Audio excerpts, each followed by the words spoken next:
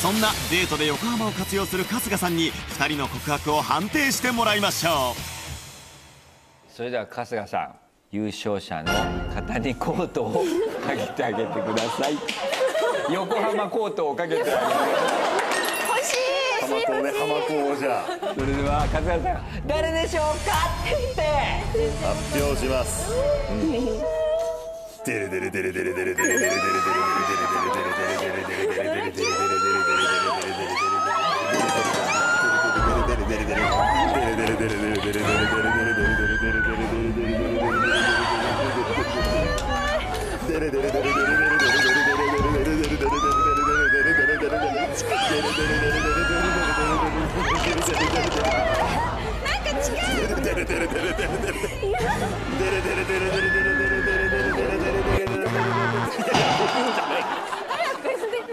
長いですよめちゃめちゃ。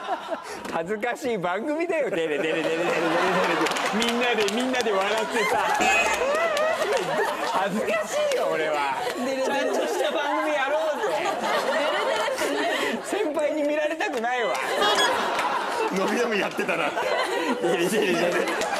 深夜で伸び伸びやってたな先輩方に見られていないことを祈りつつ判定タイム再開。パッとやろうぜ。はいはいはい。決めないとね。和也さんハートを射止めた告白したのはどなたでしょうか？発表します。デレデレデレデレ恥ずかしいよ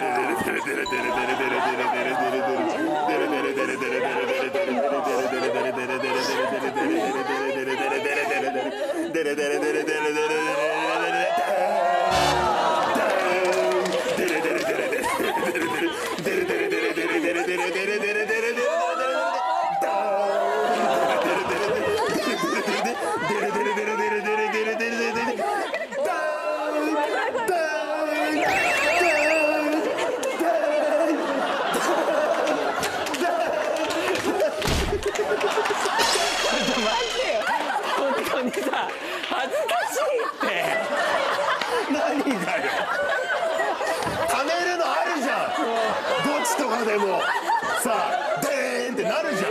なんだけどこのみんなで笑って抜けでためあるじゃんためが。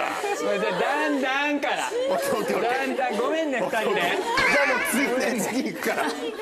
これで押してるっていうのがねさらに恥ずかしいよね。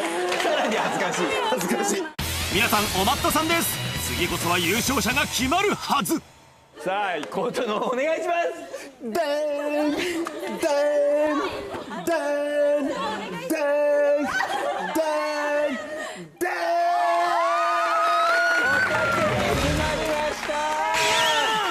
ということで初代横浜が似合う選手権優勝はおたけです。おめでとうござい